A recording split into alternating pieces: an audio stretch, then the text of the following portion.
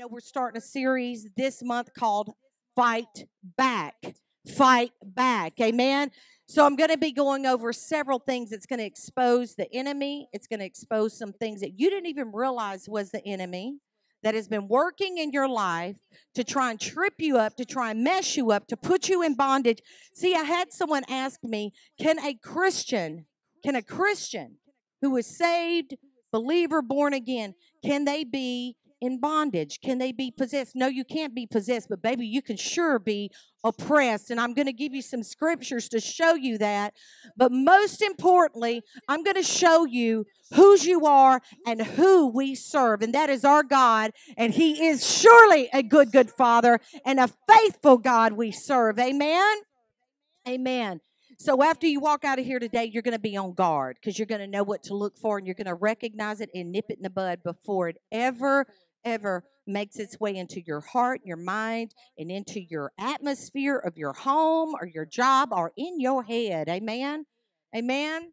So before we start, you know what I do. So everybody put your hand on your head and we just say, Father, clear our mind of every obstacle, of every distraction, of everything that would call our attention away from you. And Lord, right now, I just want to say thank you. Thank you for the word that you're about to break in this place. Thank you, Father. And I receive every single word that you have for me. In Jesus' name, prepare me for battle. Amen. Amen. Turn around and tell your neighbor right now, say, I'm about to get prepared for battle. So, this is the first of Fight Back series. And I want to tell you what today's title is, and it is Fight One More Round. Turn around and tell somebody right now, say, Fight one more round. And then turn around to somebody else, your other neighbor, and tell them, say, Don't quit now, keep fighting. Don't quit now, keep fighting. Amen. Amen. There's a story of a fight that took place in New Orleans. Now, I don't know if y'all know of this guy or heard of him, but in my studies, I found this and I found this quote, which is what I built the sermon around because it was so inspiring to me and so relevant, even in my life and in my walk. Um, but on September 7th, 1892, that was a long time ago, y'all. Is anybody here that was born in 1892? Okay, good. That would be a miracle right there. But on September 7th, in 1892 in New Orleans, Nolens, Louisiana, a boxer named Gentleman Jim Corbett. Gentleman Jim Corbett. Has anybody heard this story? Y'all get ready because y'all gonna be quoting this one. He entered the ring with arguably the greatest boxer of all time. He was a man of faith, gentleman Jim Corbett. He was a man of faith, faithful to his church. And John L. Sullivan, was the last heavyweight champion of bare knuckle boxing. I mean, these were men, men. They were getting in the ring, no gloves on, gloves off. Amen. He was the last heavyweight champion in bare glove boxing, but he also was the first heavyweight champion in glove boxing. In 50 fights, people, he was undefeated. 50 fights. But then came 51. Okay? Then came 51. The only fight that Sullivan ever lost was the one to Gentleman Jim Corbett. He knocked him out in the 21st round, and Gentleman Jim Corbett became the heavyweight champion of the world. And when he was interviewed after, they asked him, What made you keep going? Because he looked like he was about to get out of the fight. The guy was so confident. And I want to tell you something right now the enemy has been watching you and his tricks and his low blows and his things that he has done to you that has thrown you off guard and even tripped you up and made you feel like you're about to quit. You're about to lose the fight. You're weary and well doing. He's about to find out that you ain't down and out for the count yet. Amen. Amen. We're getting back up and we're going to fight one more round. That was his saying. He said, because all I kept thinking about is if I could just fight, I'm going to fight one more, one more. See, a lot of times we get overwhelmed because we look at the big picture. We look at what God told us. We know what we want and what we desire to do for God. But you look at the big picture and then you stumble and then you fall and then you trip up. And then the enemy taps you on the shoulder and begins to intimidate you and mock you. And he might even send some people to mock you and say, See, I told you so. You ain't got what it takes, right? You're not going to be successful. You're always going to be this or that. You're never going to overcome. You're never going to succeed. That is the voice of the enemy. But I want to encourage you today, and I want you to turn to your neighbor right now and give them a fist bump and say, Fight one more round. Fight one more round. Amen. Amen. And thank you. Before we even get started, take your phone out, share this feed, share this this message today. I'm going to hold you guys for about 30 minutes, but I'm going to encourage you and inspire you. You're going to walk out of here like Rocky. You're going to have your head up, your chest poked out, ready to fight one more round. All right? All right. So limit your moving. Be respectful of the house of God. Amen. Be respectful of your neighbor. Amen. Turn your ringers off on your phone and let's just zone in. Can I have your attention for about 35 minutes? We good? We good? Because y'all need this word. Tell your neighbors, say, pay attention. You need this word. Amen. Amen. I think the Apostle Paul actually would have used that same motto, and he kind of alluded to that when he told Timothy, his protege, in 2 Timothy 4 7, he, 4 7 in the New Living Translation, he said, I have fought a good fight. I have finished the race, and I have remained faithful. I'm going to say that one more time. I have fought the good fight. I have finished the race. Shout finished. I have remained faithful. Tell your neighbor, say, I'm remaining faithful. Do I have any fighters in this place today? If you're watching online, if you're a fighter, I want you to put a little thumbs up or a fist bump. Amen. Every fighter, every single fighter has a day that they feel like quitting. Every single fighter has a moment in their life. Every Christian, let me just change it. Every Christian has a moment in their life that they feel like giving up. They feel like quitting. It's like they just can't get ahead. They just can't get their bearings straight. Y'all know what I mean? You're knocked off balance. Every single person in this place and every person watching, including the person that's speaking to you today, has had a moment and an opportunity to just quit. Put my hands down, take off the gloves, and stay down. TKO. Amen? But the best fighters know this the way you win is you just keep fighting. Just keep fighting, baby. Just keep fighting. Amen. I know you feel like quitting today. Some of you that are tuned in, that's why I know this is an on time word. And I was even fought today getting here. Many of y'all know Seth has been fighting some stuff and he's about to have a really major surgery Tuesday. Keep him in your prayers, please. Keep me in your prayer because this mama's brain is like, man, I am fighting though. I'm not about to quit. I'm not about to give up. And I know I've watched my son weep and cry even this morning before I was leaving. And Seth's not a crier, but he was in so much pain, he was just weeping and crying out. And I just thought, man, it makes my heart hurt because I can't fix it. There's some things you're going through and some things you've been frustrated or even hurting over or crying over and crying out to God that you can't fix it. You've tried everything, haven't you? But you can't fix it. But I know a God who is still in control. Amen. So get up and fight one more round. I'm uh, going to encourage you today. Just stay. Just stand. Just keep standing. Just get back in the ring, even if you don't feel like it. Get back in the ring because you're not getting in by yourself. God's going to fight with you. Amen.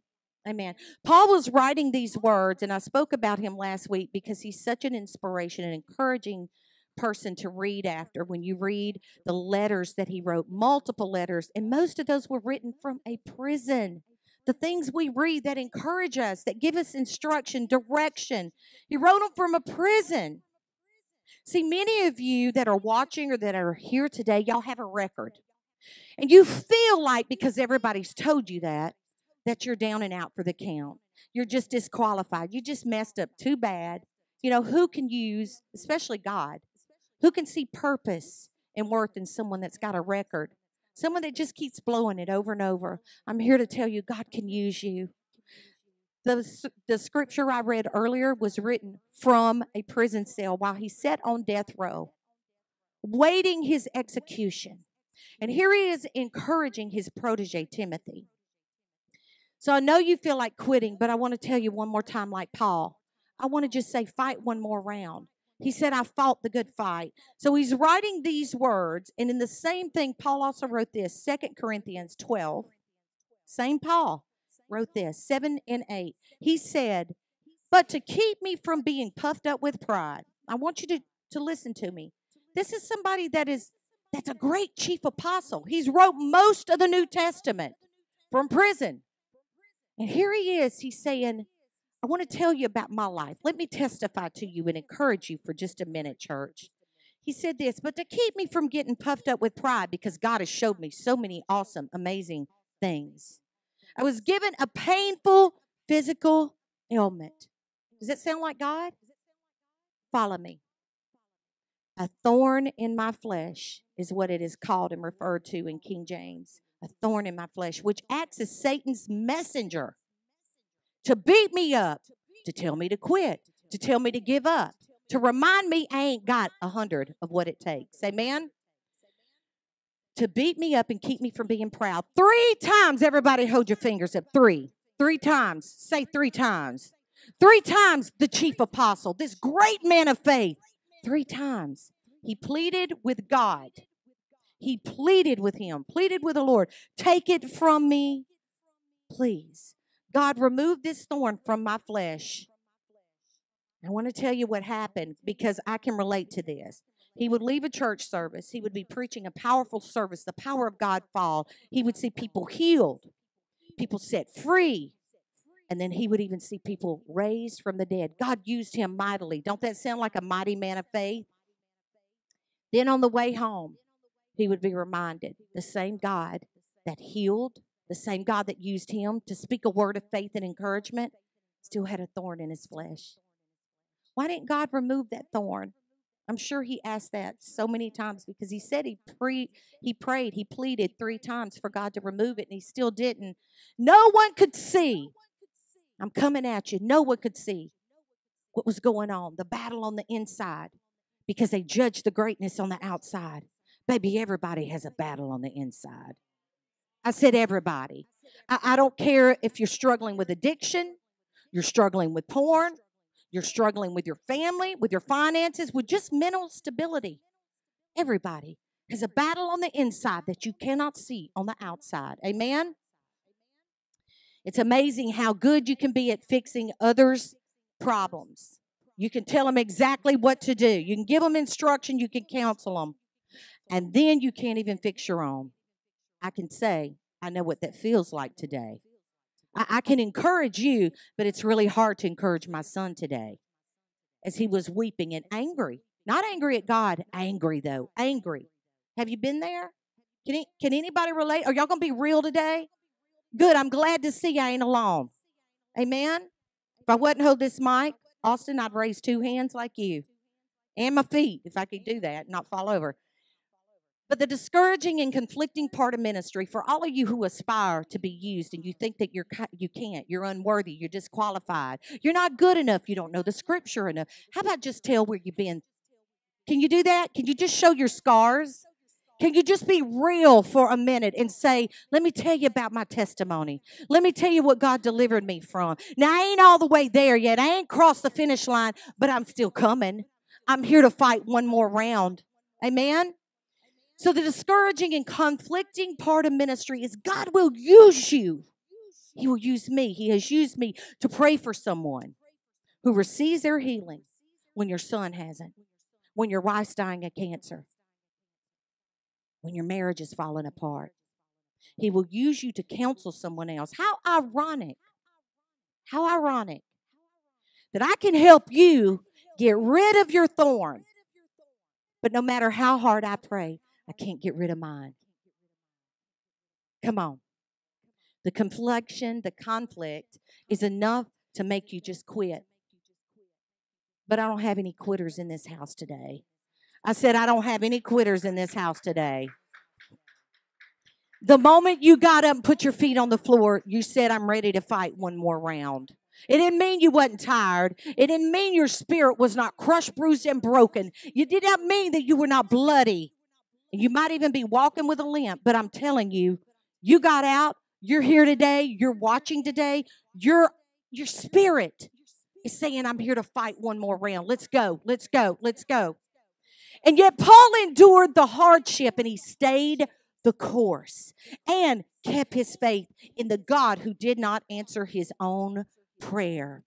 What enabled Paul? This is what I asked. This is my question I pondered. What enabled Paul to press ahead when he was being assaulted so viciously, viciously, lied on, persecuted, imprisoned falsely?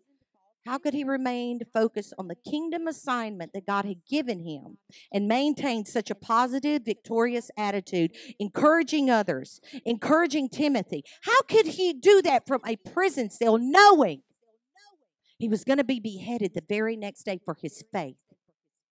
How could he do that? Could you do that? Some of you lose your faith because you're just mad at your girlfriend broke up. Some of you just lose your faith because somebody lied on you at work. Some of you just lose your faith because you didn't get your check in time to get your nails done. Some of you lose your faith over the silliest things. I want to ask you is that really faith? Or is it selfishness? Because, see, faith is selfless. Faith is saying, Not my will be done, God, but your will be done. No matter the cost, no matter the price. Your will be done. How is it that Paul never, ever surrendered to the thorn in his flesh? How did he not get disillusioned, Jason? How did that happen? How did that happen? How does that happen when someone walks off from you, when you've devoted yourself to and you've done nothing, and they walk off? How does that happen when you've been betrayed, but you were not the betrayer? How do you not get disillusioned with the thorns with the S on the end, thorns in your flesh. How do you keep going? How do you keep going, Rose? How do you keep going, Bruce? Will you lose your wife in an untimely manner? Will you walk in and find your husband? The man you depended on to cover you, he's gone. He's passed away. Untimely, unexpected. See, if you can prepare for the blow, you can put your fist up. But when you put your fist down because you think there's not a fight to go on, the enemy can cold cock you and knock you down on your behind. But it takes a fighter to get back up. Turn around and tell somebody right now, I'm looking at a champion. Come on. See, here's the thing like Paul, let me just give you some words of advice from something I learned from a leader. Here it is it's easy to do the right thing if you make your mind up to do the right thing before you ever are faced with doing the wrong thing.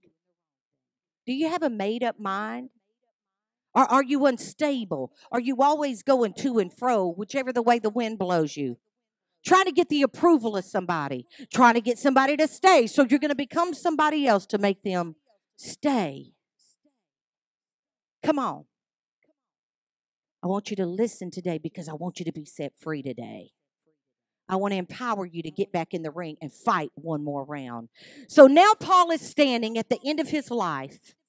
And I love the words he wrote to this spiritual son that he mentored, his protege, the one that was going to carry on after him, the one he poured his heart into, the one he taught to disciple who he discipled first. He's standing at the end of his life he asked Timothy for two things a coat. Bring me my coat, I'm cold. Bring me some paper, son, so I can write you a letter of goodbye. And here he is, about to be executed. He said this I fought a good fight. I fought a good fight. I fought a good fight. I didn't quit. I felt like it some days, but I didn't quit, Timothy. I didn't quit. Don't you quit either, son. On the days you feel like giving up, don't quit on your worst day. You'll regret it on your best day because it will get better. So here he is, and he's writing Timothy some of the last letters he will ever write before he crosses over from this life and to receive his reward, the champion's reward. See, here's the thing. We all run a race. I'm not running your race. You ain't running mine. Stay in your lane and I'll stay in mine. But let me tell you, here's the thing. You run a race, and a lot of times we uh, we equate it with like running a race here, like there's only one winner. Uh uh baby. It ain't one winner in this world when you are doing a kingdom assignment. Everybody wins if you just keep fighting one more round. Everybody wins if you just don't quit on your worst day. Everybody wins if you just keep pushing through it. Amen. In the Greek, the words fault and fight they are pronounced. Y'all bear with me because this is like the Bible names that I do not even know. So I'm gonna put some uh, Southern spin, I'm sure, on it. All you people watching that know how to speak Greek, don't judge me harsh. Agonetzo, agonetzo. Y'all can name your next child that. Go ahead. This word means a struggle, a fight, struggle, a fight, a combat, not just a fight, a combat, a fierce competition. I have fought the good fight. I had a fierce competition, Timothy. It was hard. It was a combat. It was a struggle. I strived. It's another word it means strive. It's wrestling. It's where we get the word agony from. Agony. I fought a good fight. Agony. Yeah. Does that sound like a good thing? Does that sound like we are the champions, my friend? I know that was like Pat Benatar. I don't know. Anyway, does that sound like a victorious thing? I fought a good fight. I'm in agony, Timothy, but I'm fighting. I'm not quitting. I'm not quitting, Elsa. I'm not quitting. By using this word, Paul tells us that some of his ministry has been a real struggle difficult, fierce, agonizing. Yet Paul never quit.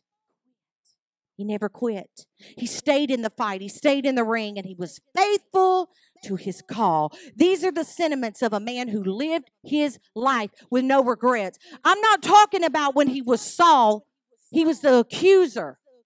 He was the one that persecuted the Christians. I'm talking about when he became Paul, when he became who God called him to be. I fought a good fight. Regardless of all the others who have dropped out of the fight, who have quit the race, he said, I stayed, I stood, I endured, I fought, Timothy. That proclamation has the sense of victory and exhilaration, and he is proud of the contest as he sits on death row that he engaged in. He said, I kept the faith. The Greek word for kept is terio, it is the same Greek word used to depict a watch of soldiers who are positioned to protect something important. I kept the faith, Timothy. I guarded it. I protected it. The job of these soldiers was to stand guard and to keep watch. They were to be faithful. Everybody shout faithful.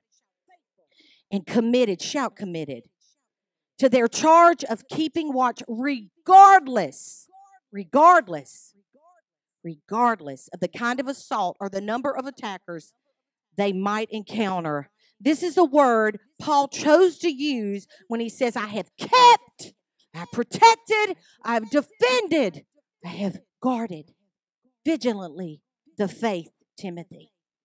And I showed you how. Even though I encountered difficulties and challenges, I never surrendered. I never quit.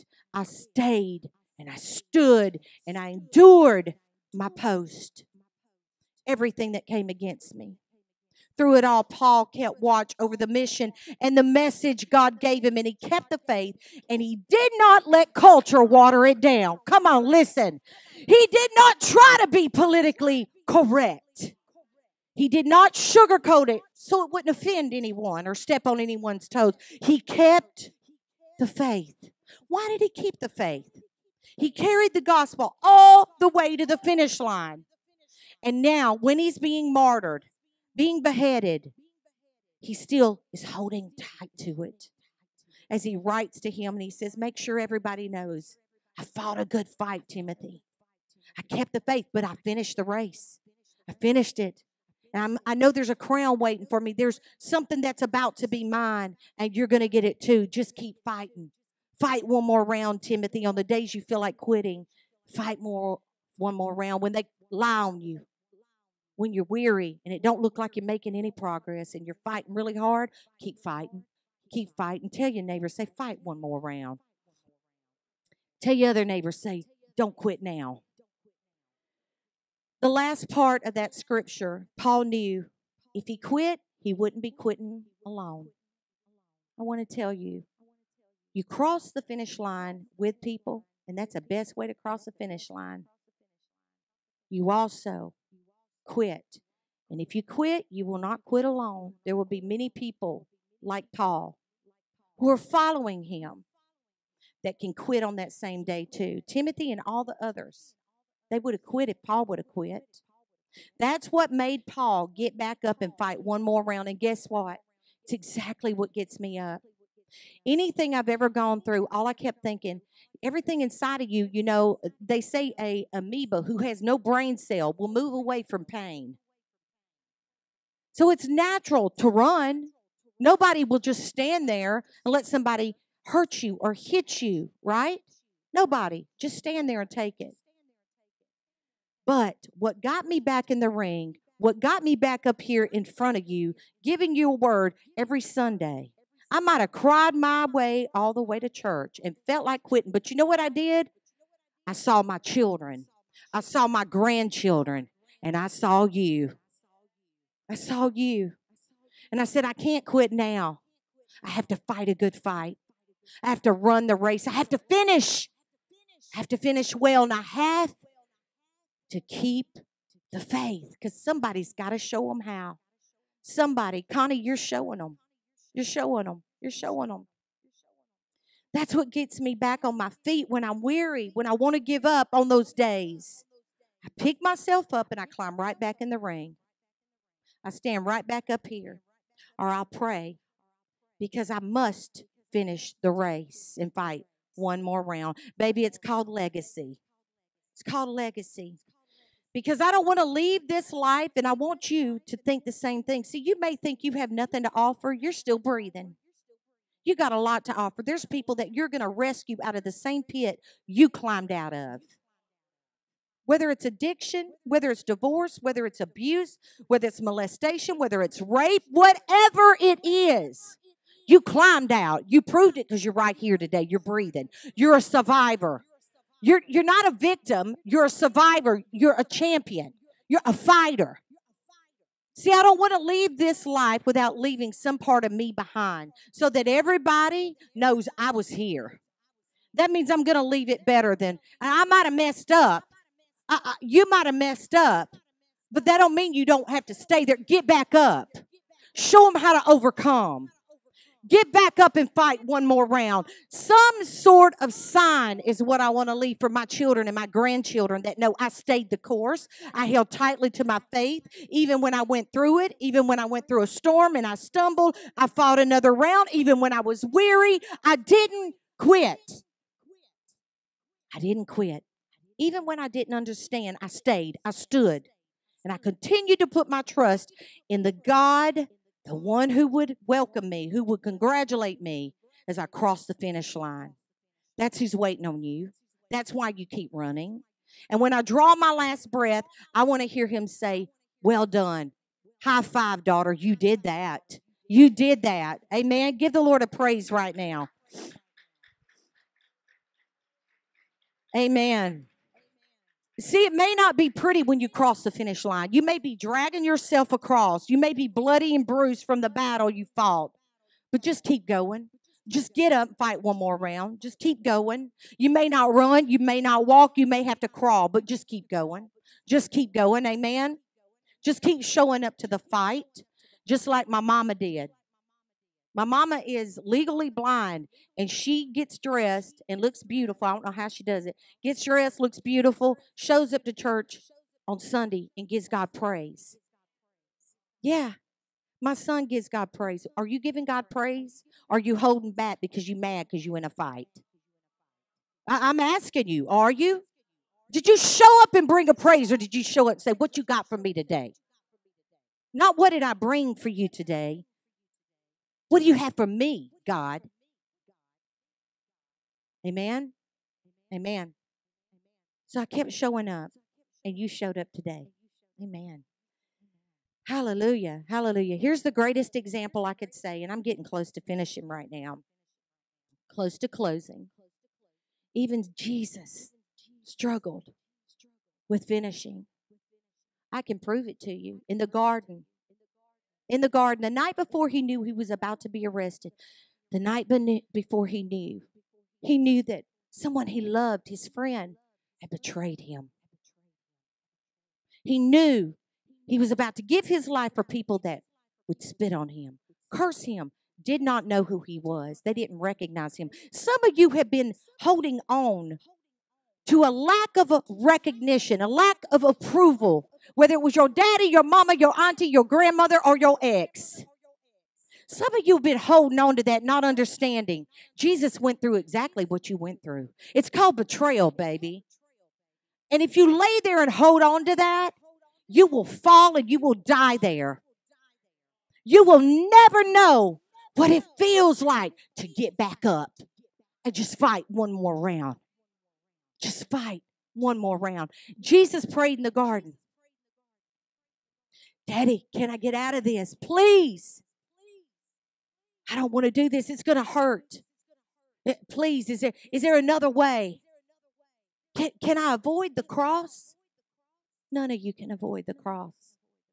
The first thing he said, Jesus said to his disciples, Can you pick up your cross? Everybody has a cross. I'm looking at men and women in here that y'all got a story.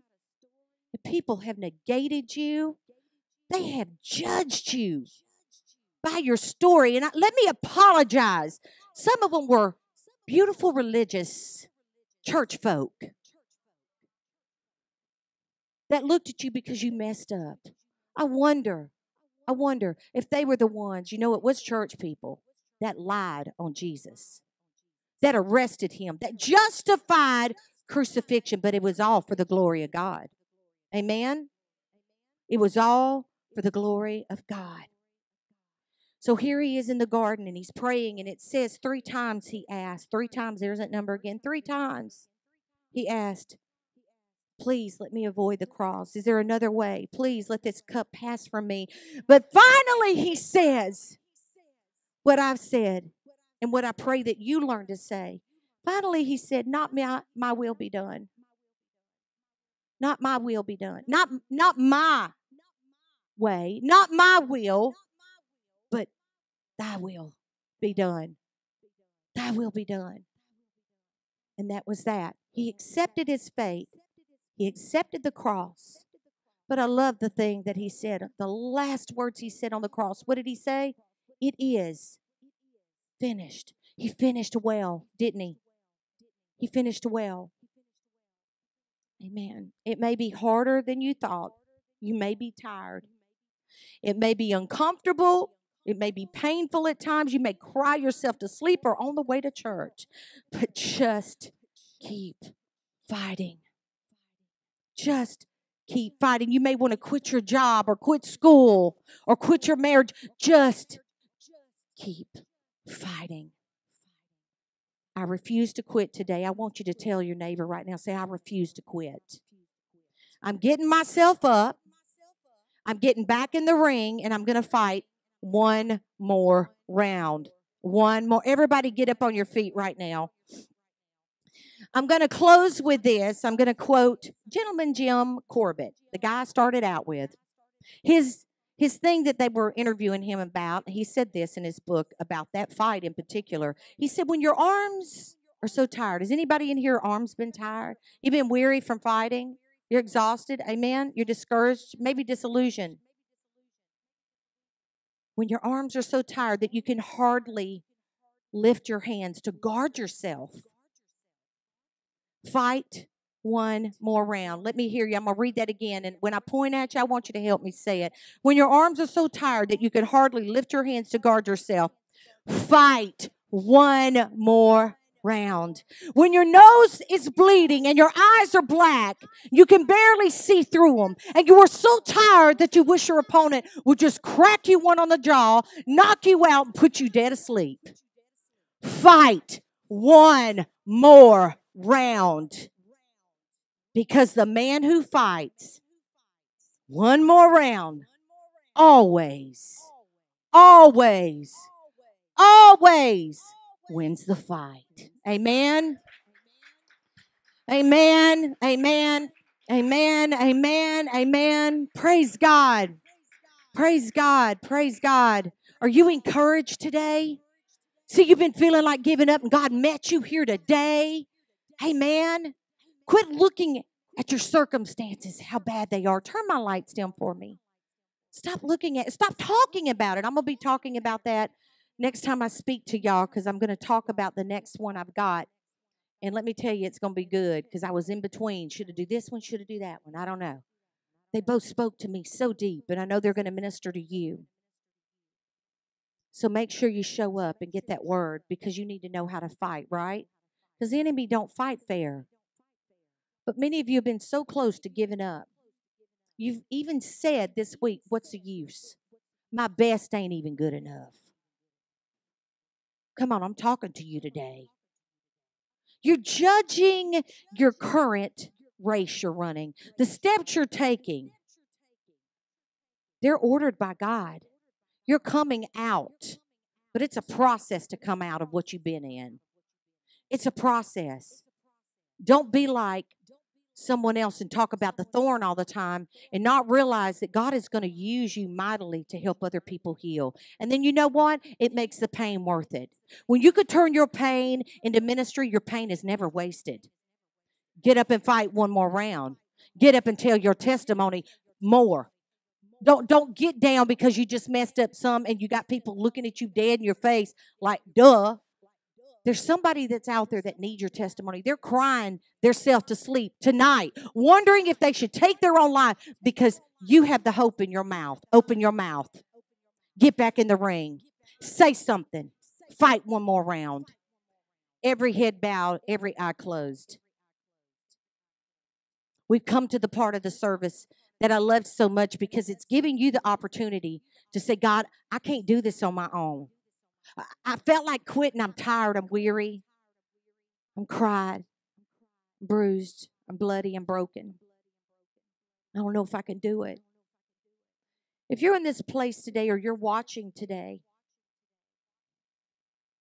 and you are lost and away from God, you feel like you've just blown it so bad. I want you to know these words that are reaching your ears and reaching your spirit and your heart right now, that are touching you in the deepest, darkest, secret place. The place reserved for God alone. His love can wash over you in a moment. And that's what you're feeling even right now. That's grace. See, it's not just my words, but it's the living word, it's the living water. That's what you feel right now stirring inside of you. It's called purpose.